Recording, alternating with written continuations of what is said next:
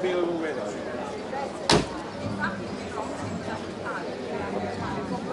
Come la vista sulle parole, mamma mia,